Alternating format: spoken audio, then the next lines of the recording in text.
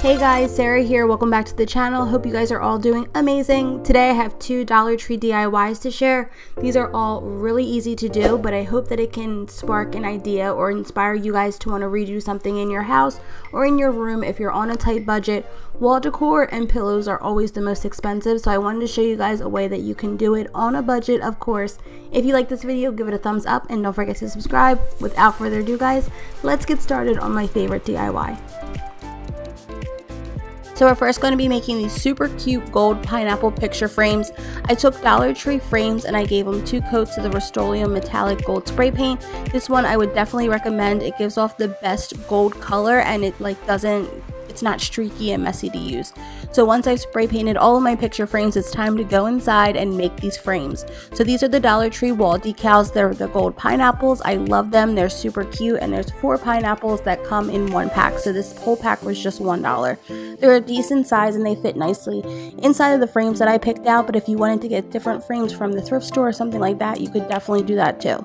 So we're going to take our picture frame apart. You guys be super careful with these frames because they are so cheap like the glass breaks really easily. So just be super careful.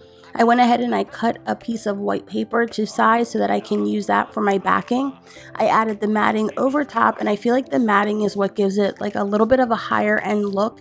If it doesn't have the matting in there, I think that it does look a little bit cheaper. So try to find the ones that have the matting because it is going to like elevate the look of the frames a little bit more.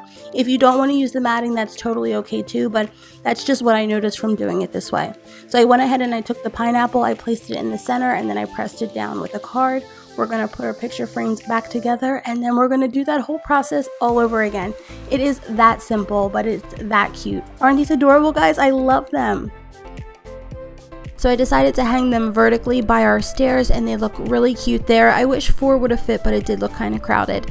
If you guys are moving into a dorm or you want to redo your room or even your bathroom, I think these would look really cute in the bedroom as well.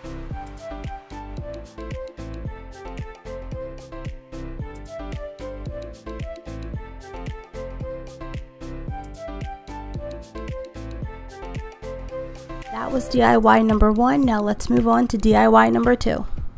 So this next DIY is making these pom-pom pillows from the Dollar Tree. Super easy to do and it's really inexpensive. What I did was I took the two pack of pillowcases from the Dollar Tree. It's two pillowcases in one pack so you can save money by doing it that way because you can get two pillows for the price of one. I like the pattern that's on here. What I decided to do is just go ahead and use an old pillow that we already had here. I recovered it. It was dingy and dirty, but you could also get one from the thrift store or you could get the stuffing and stuff it inside. So this heat and bond is a godsend. If you don't know how to sew or you don't have a sewing machine, you can use this to mend the pillow together. I see people use hot glue, but this is a great option. Also, you're going to need a pair of scissors. What you're going to do is you're going to take your pillow and put it inside of the pillowcase. You want to make sure that all of the corners are filled so that it's completely inside of where it needs to be. If it's like a little bit out, it's not going to be stuffed enough. So make sure that you stuff it good, cut off what's excess, and then we're going to fold it inside so that the seam looks more seamless. So I'm just folding it like that. I'm adding the heat and bond. If you guys have ever used that before, it's super simple. You just add it as you go. You use your iron to get it hot. It'll stick together and it will stay there.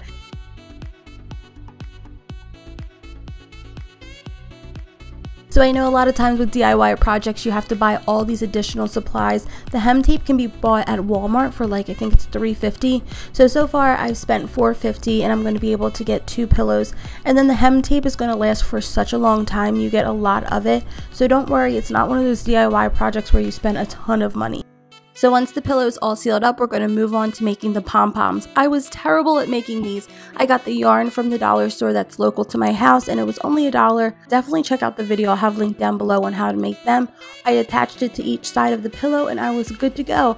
I love the way that this pillow turned out. I think that it's super adorable.